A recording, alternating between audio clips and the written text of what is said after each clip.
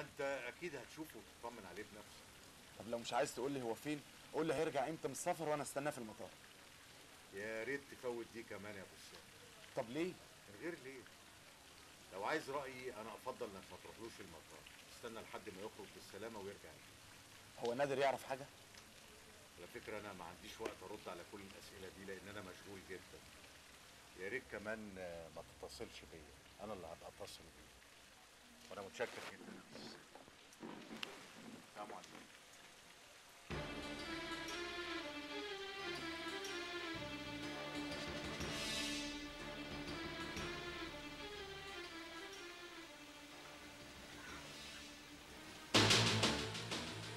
نادر آه شايف حد تاني؟ انت هنا من إمتى ساعة ما الأستاذ قال لك إن المرحلة دلوقتي عدت حكاية المعلومات. تتجس عليا يا سامي؟ عليا أنا؟ طب ليه ولمصلحة مين؟ لمصلحتك أنت وعيلتك كلها يا جبان يا حقير. ما بتتجس عليا وتقول لي لمصلحة عيلتك يا جبان. قول كل اللي أنت عايزه لو ضربتني كمان أنا هعذرك أضربك. أنا المفروض أمسح بيك بلاط النادي بعد ما سمعت اللي سمعته وشفت اللي شفته. قول لي سبب واحد يخليك تعمل كده. سبب واحد يخليك تخني. واوعى تقول لي إن هما ضغطوا عليك. لأني مش هصدقك. أرجوك ما تضغطش أنت عليا عشان تعرف السبب أنا لو قلت له اضغط على صمات رقبتك دلوقتي حالا واطلع روحك في ايديا كنت عملت كده. نادر أنا ما عملتش كده إلا لمصلحتك. تاني هتقول لي مصلحتي؟ دفعوا لك كام بقى يا أستاذ عشان تشتغل مرشد للبوليس. معلوماتي إن هم ما بيدفعوش كويس. كنت قول لي وأنا أدفع لك أكتر. نادر أرجوك. أرجوك أنت يا سامي. لو سمحت فضلك امشي دلوقتي. امشي بدل ما أطلع روحك في إيديا دلوقتي حالا. يا نادر لو بتاع فلوس زي ما بتقول. كنت اشتغلت معاك في الغردقة زي ما طلبت مني كنت قربت منك ومن والدك أدهم الغازي عشان أعرف ابتزه كويس. بعد اللي عرفته عنه. ابتز أدهم الغازي بعد اللي عرفته عنه؟ عرفت إيه عن أبويا يا سامي وأنا ما أعرفوش. مش هقدر أقول. حتى بعد ما ظابط المباحث قال لك إن دورك انتهى. لكن اللعبة لسه ما انتهتش. أنتوا لسه في خطر يا نادر. بخاطر الدنيا كلها كانت تهون أحسن ما أشوفك في الموقف ده. يا نادر الموضوع أكبر مما تتخيله. يبقى عرفت مين اللي ورا اللي حصل لنور. ورا كل اللي بيحصل لنا. للأسف يا نادر. شكوكك كلها كانت في محلها. ومهما خيالك كان بيصور لك المشاكل اللي في شغل والدك. لكن للأسف الواقع أسوأ. يبقى أنت عارف حاجة ومخبيها. وأرجوك يا سامي اتكلم. وإيه اللي هتخليني فعلا أرتكب عمل جنون؟ هقول لك يا نادر هقول لك. بس مش عشان خايف إنك ترتكب عمل جنوني زي ما بتقول. لا لأن أنت من حقك تعرف كل اللي أنا عرفته. يمكن تقدر تعمل حاجة. خلاص اتكلم يا سامي اتكلم. هتكلم يا نادر. بس قبل ما اتكلم لازم تسامحني على كل اللي عملته معاك. ولازم تفهم حاجة مهمة قوي كل اللي عملته ده عملته لمصلحتك انت بس. يا سيدي خلاص مسامحك أرجوك اتكلم لأني خلاص أعصابي مش مستحملة. أدهم الغازي والدك من أكبر تجار السلاح في العالم. أنا.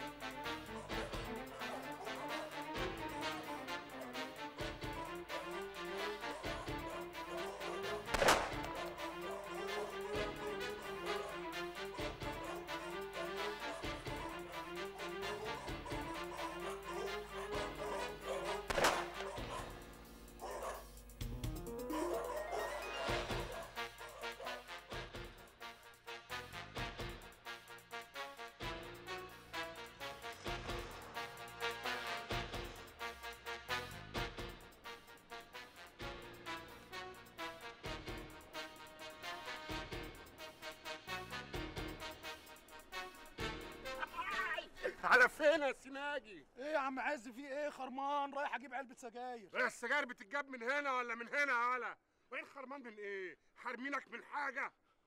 تكونش رايح لسعاد بيه بتاعك. آه، ادهم مين يا عم أنا معرفش حد ما تسيبني في حالي. ادهم بيه على اللي مشغلك علينا. يا عم أنا معرفش غير ثابت بيه. ثابت بيه هو رئيسي وهو حبيبي حتى اساله الحكاية مش محتاجة انه يسألني. انت فعلا خدام مزاجك. خدام اللي يدفع لك والمدمن اللي زيك. ما يملاش عينه إلا التراب. وأنا فعلا كنت غلطان. كنت غلطان ان ما عملتش حساب اليوم ده. أبوس إيدك. أبوس إيدك يا باشا ما يا. باشا تسيب لي الأشكال دي. أنا اللي بعرف أتفاهم معاها يا باشا. لأن أنا اللي كنت بدافع عنه قدامك. يا ما قلت لي أنا شاكك فيه. كنت أقول لك لا. ده محتاج لنا. واللي محتاج لنا لازم يصون اللي إحنا بنعمله. مش كده يا هلا؟ انت ممكن تآمن لكلب بيهز ديله. وما تآمنش ابدا لمدمن. يا باشا أنا ما كنتش هعمل حاجة. ما كنتش هعمل حاجة خالص أنت صدقني. كنت عايز تهرب. أول ما شفت أمونة عايز تطير تبلغ أدهم بيه. قول لي يالا أنت كنت عايز تعمل إيه بالظبط؟ أنت رحت جبت الأكل مع عز عشان أمونة تاكل. وبعد كده سهتنا وخرجت. اطمنت إن أنا موجود معاهم جوه وخرجت تتسحب قام الباشا شافك قال لي أخرج وراك وأشوفك رايح على فين يا هلا انطق وقول الحقيقة وأنا هسامحك. كنت رايح لأدم؟ بصراحة أيوه. آه. أدهم هو اللي بعتك؟ لا لا لا. ال- الجدع الطويل الأبيضاني ده اللي اسمه جو. جو! جو! وقال لك إيه تاني؟ أنت! ما قاليش قال لي أي حاجة تخصني أو تخص شغلنا تبقى تبلغني بيها. وهو وهو كله بحسابه. ولا مؤاخذة يا باشا. كنت تعرف أمونة على رد. أنا ما شفتهاش غير مرة واحدة بس. وداني طرطقت كده كانت بتتكلم مع, مع ثابت بيه وجابوا سيرة أدهم بيه الغازي يا حلاوتك يا جمالك حلوة يا رحتان هنا يا باشا. هلا هتعمل إيه؟ هفسحك بالسلامة يا شربان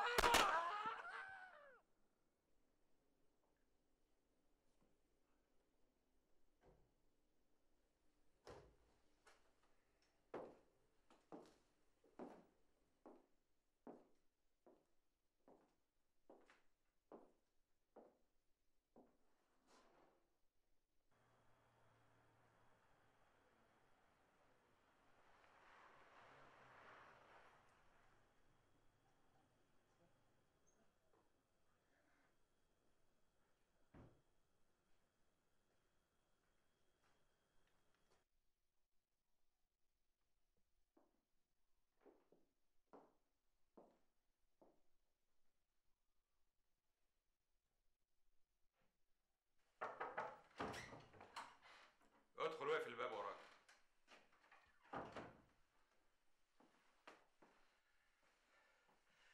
قلبت الدنيا على إيمان هانم ملهاش أي أثر. ولما سعادتك كلمتني قلت أكيد في أخبار جديدة. فعلا في أخبار جديدة. عرفت هي فين؟ عرفت هي فين؟ بس لا يمكن أقدر أوصل لها. سعادتك قول لي هي فين وأنا مستعد أجيبها لك حتى لو كلفتني حياتي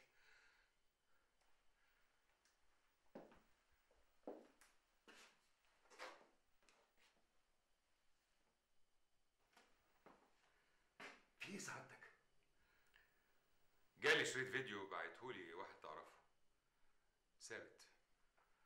قال لي اتفرج عليه عشان ما اتعبش نفسي أكتر من كده. يبقى وصولها قبلنا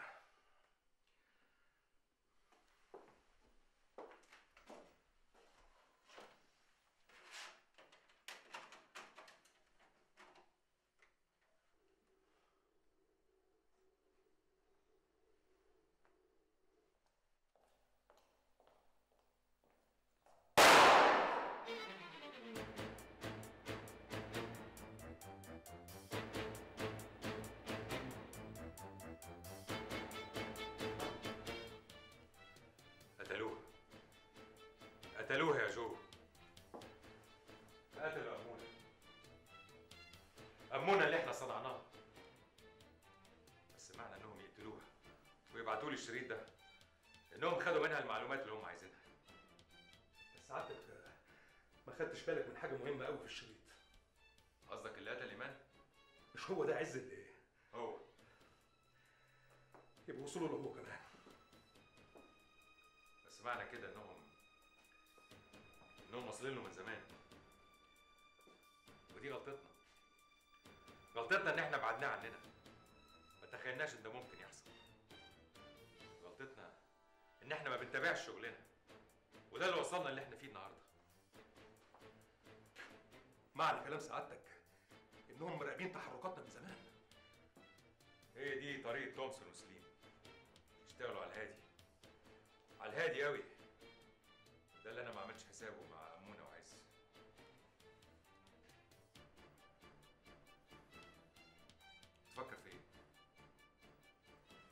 جالي خاطر دلوقتي حسسني إن أمونة وعز دول اترموا في سكتنا من يوم حكاية الشنطة.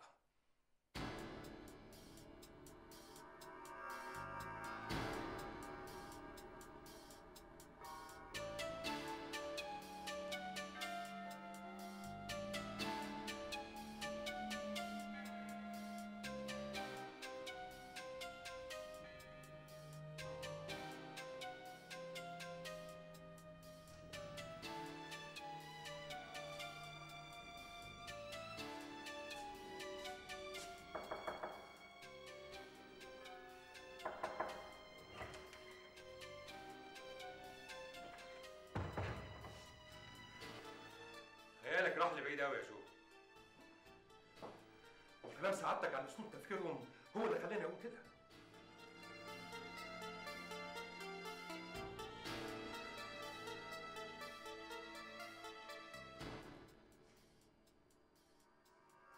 قتلهم لإيمان قلب لي كل الحسابات والموازين بس أنا أكيد غلطان. حبست منصور.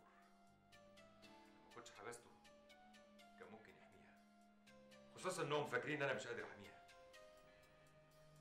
سعادتك فيه إهانة كبيرة قوي ليا وأنت هتعمل إيه ولا إيه؟ أكيد هي دي الحقيقة. أنا كنت غلطان. ما كانش لازم أسيبها أبدا. خصوصا إن أنا كنت بحبها. كنت ناوي أتجوزها. إنما الغيرة الغيرة ومحاولتي إن أنا أعرف إيه اللي بينها وبين منصور. الغيرة اللي أنا ما كنتش حاسس بيها أبدا. هي اللي وصلتنا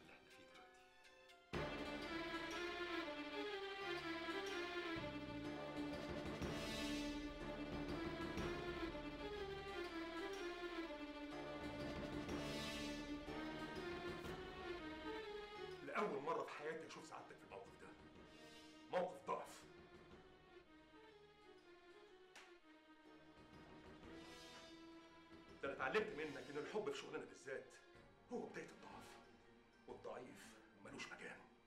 دليل إن سعادتك نسيت تفاصيل العملية والشفرة اللي كانت مع إيمان هانم وبتتكلم في أحاسيس ومشاعر وأعتقد إنه مفيش وقت. عندك حق.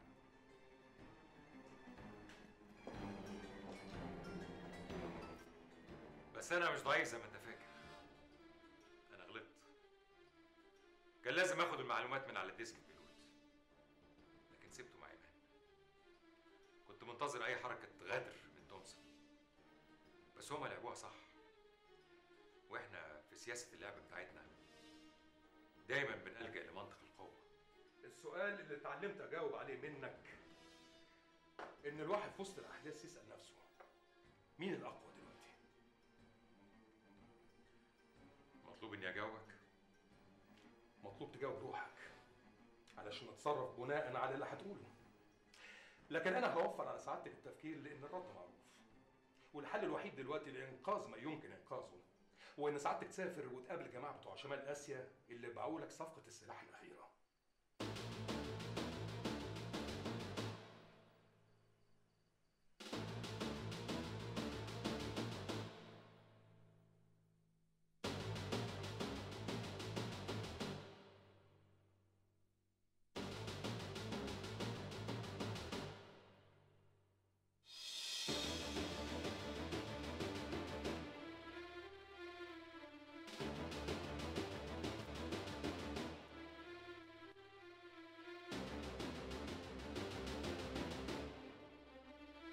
أكيد هيقدروا الموقف لما يشوفوا الشريط ده معاك.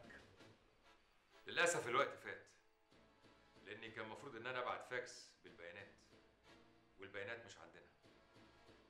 الفاكس ده ميعاده إن هو يوصل على ميعاد شروق الشمس بالقاهره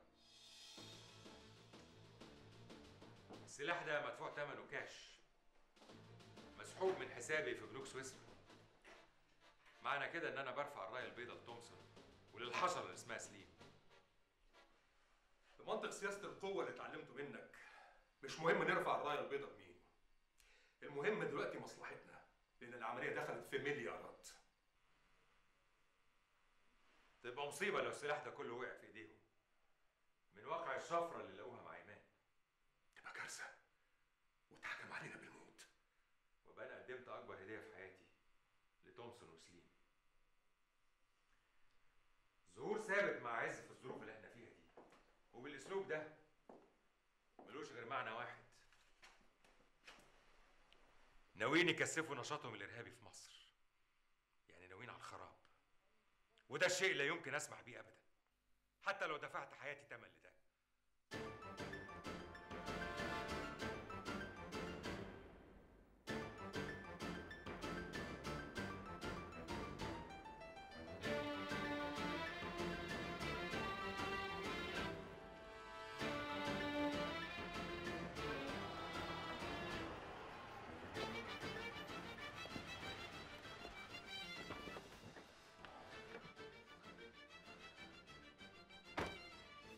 بيقول إن في مصيبة حصلت الضيف اللي كان عندنا هرب بيه بتقول إيه؟ بتقول إيه؟ هرب يعني إيه؟ وسط الحراسة دي كلها إحنا كنا هنفرتكوا برصاص يا باشا بس الأمر اللي عندنا من حضرتك إن إحنا ما نموتوش مهما يحصل منه ما تموتوش آه يا بني آدم اللي بيهرب لا إحنا ضربنا عليه نار كتير بس هو كان عامل زي فرع لوز وكده بيحرسكم فين؟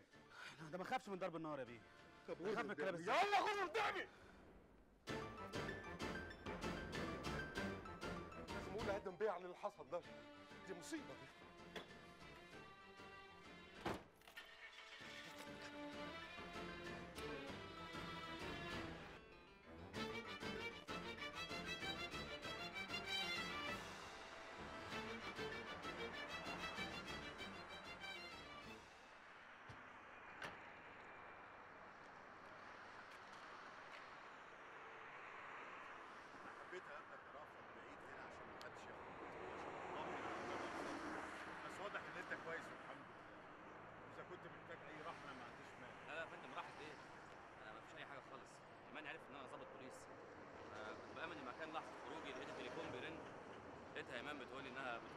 الجميل وعايزاني أهرب فورا عموما كل ده إحنا كنا عاملين حسابه أول لما توصلوا مصر. يا فندم أنا شايف إن الحكاية كده اتعقدت زيادة. بعد اللي حصل ده آدم أكيد هيحاول يأمن نفسه وخصوصا إن أنا انكشفت قدامه خلاص. يا رأفت مش آدهم اللي قال الإيمان لأنه لحد دلوقتي لسه ما عرفش. إيه؟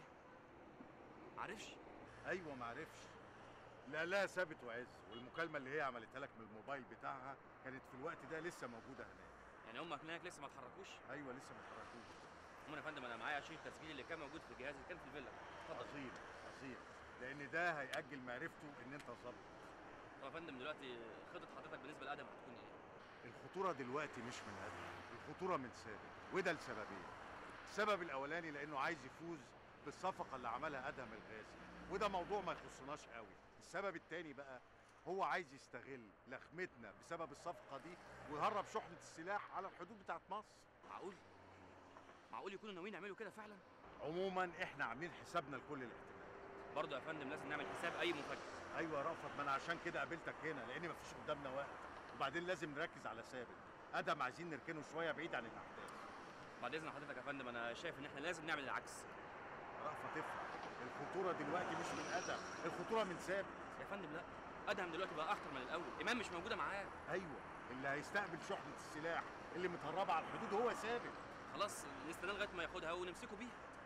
افهمني بس ثابت دلوقتي بقى خطير جدا. عايز يثبت للناس اللي بره إن هو كفء ويعتمد عليه. عشان كده إحنا لازم نمسكه الليلة دي لازم الليلة دي نخلص العملية دي كلها.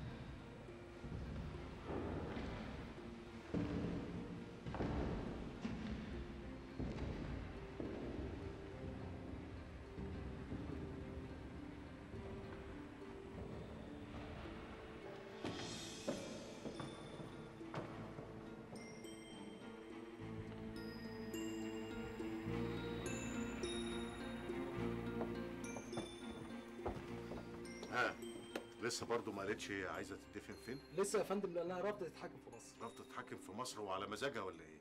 والجرائم اللي ارتكبتها هنا. افتح لي الباب يلا.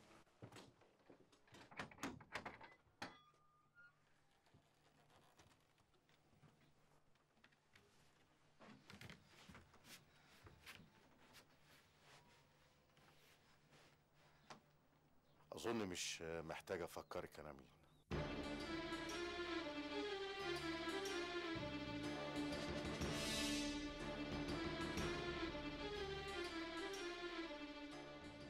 ما افتكرش إنك نسيت الضابط اللي استقبلك في مطار القاهرة لما جيتي مترحلة من لبنان؟ بعد القبض عليكي طبعا.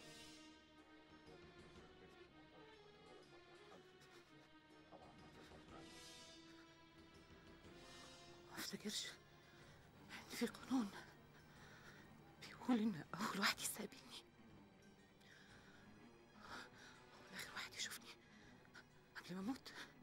عندك حق يا مدام. فعلا مفيش بس برضه مفيش قانون بيقول إن المذنب يطلب من المحكمة إنه يتحاكم في بلد غير اللي خرب فيها وضرها. وأظن أنت عارفة كويس أنت عملت إيه. أنا اتق- اتقبض عليا في لبنان. اتقبض عليك في لبنان لكن قضيتك الرئيسية كانت هنا في مصر. انت جاي لي عشان تقولي لي أنت عايزة تدفني فين وإزاي. وعموما ايا كانت الطريقة إحنا اتعودنا إن إحنا نحترم جسم الإنسان اللي ربنا اداهوله أمانة سواء كان حي أو ميت. مش هقول. أيوه مش هقول. لأني أصلا رافضة تنفيذ الحكم ده. ودوني أي مكان تاني. أي مكان تاني لا أي مكان تاني إلا هنا؟ للدرجة دي بتكرهي البلد دي؟ بالعكس. دي البلد الوحيدة اللي أنا حبيتها. أنا عشت عشت فيها أجمل أيام حياتي. لفيت الدنيا كلها. ما حبيتش أعيش غير في مصر. مع ناسها الطيب- الطيبين بيحبوا حد بيحبوا من قلبهم. ويحبوا زيادة عن اللزوم. وده وده اللي بيطمع فيكم الناس كلها. يا سلام. ولما انت بتحبيها قوي كده خنتيها ليه؟ اتعاونتي ليه مع اللي عايزين يخربوها كانت كل حاجة بتمنها عشان أعيش عشان عشان ما أغ- ما أغرقش وديكي غرقتي جريتي قمة في الجبل وفكرت إنها تحميكي والنتيجة اهي يا ريت تعرفوا وإنتي واللي زيك إن مصر عندها اولادها اللي بيخافوا عليها وبيحبوها ويقدروا يحافظوا عليها. صحيح في أخطاء بس بتتعالج. يمكن الوقت يتأخر شوية. لكن عايزك تعرفي حاجة مهمة. انت واللي زيك إن عصر الهزايم خلاص انتهى. ورحلة الموت. بالنسبة لي ابتدت.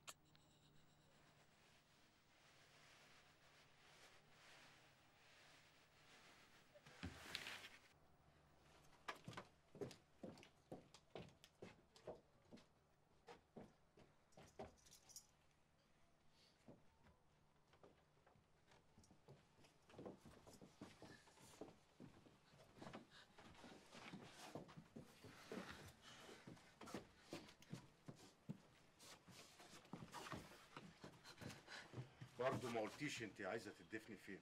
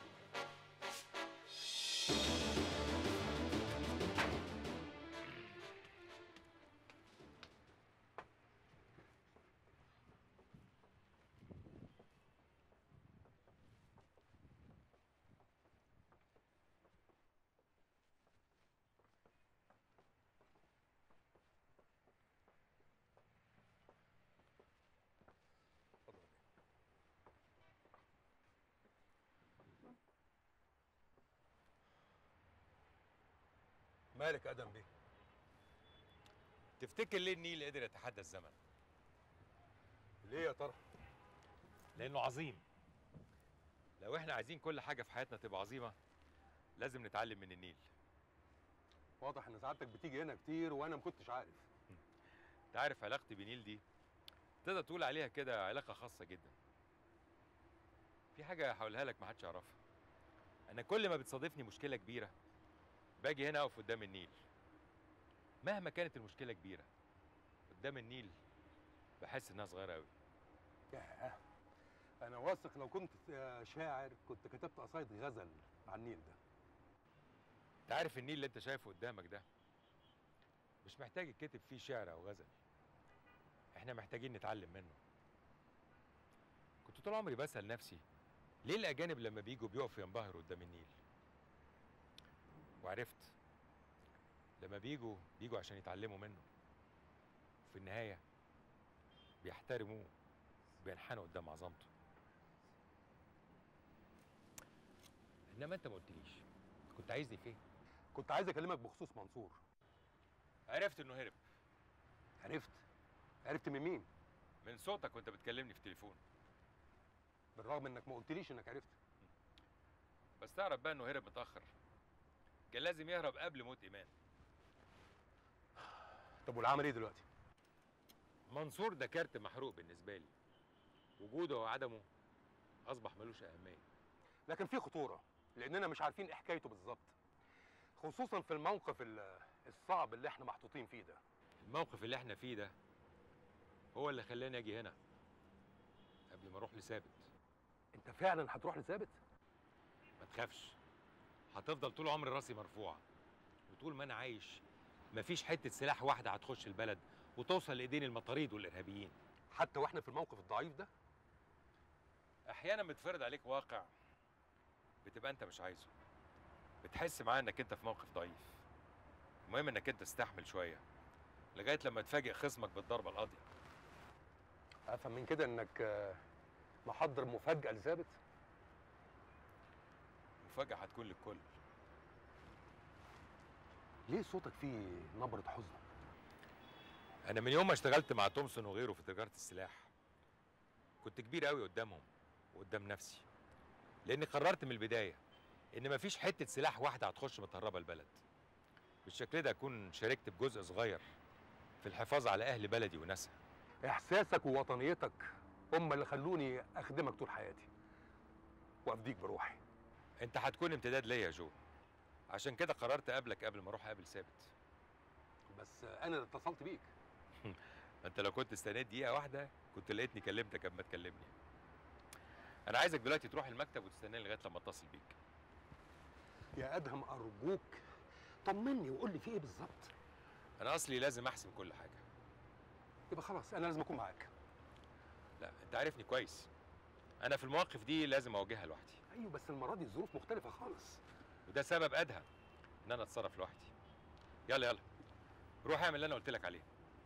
أيوه بس أنت ما قلتليش أعمل حاجة غير إن أروح أستنى في المكتب. دورك لسه ما جاش. بعد مقابلتي لثابت دورك هيبقى أهم. أنا مش أنا مش فاهم دقي. إزاي يعني مش فاهم؟ هفهمك كل حاجة بعد ما أقابل ثابت. ياه. بلدنا دي جميلة بشكل. ولازم نحافظ عليها. تفتكر أدهم الغازي عامل إيه دلوقتي بعد الشريط اللي إحنا بعتناه له؟ لو كان شاف الشريط ده يبقى أكيد بيفكر إزاي يفاجئنا أدهم الغازي ده خلاص. فقد مميزاته. ما بقاش قدامه دلوقتي غير إنه يتلقى الضربات وبس لحد ما يدوخ ويقع على الأرض بالضربة القاضيه عشان كده سعادتك فكرت في موت إيمان. كان لازم يفقد الأمل في إنه حتى ممكن يلاقيه. أيوه بس سعادتك إحنا كده ما عملناش حاجة لأننا ما خدناش منها اللي إحنا عايزينه. اهي دي مهمتك أنت بقى يا بطل.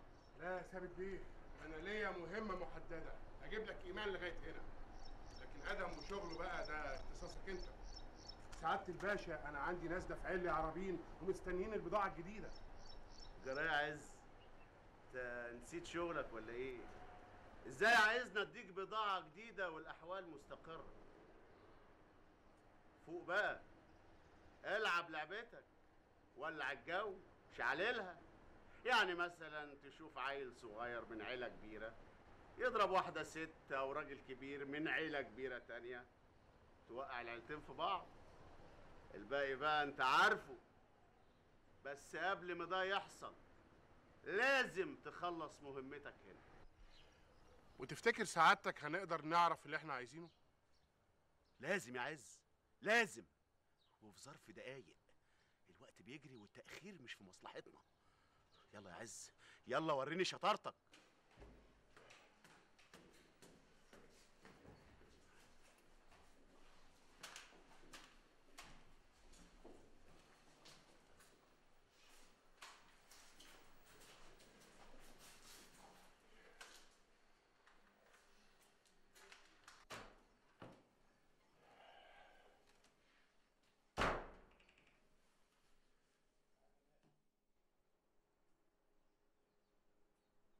مش عارف أقول لك إيه يا امونه على اللي حصل ده.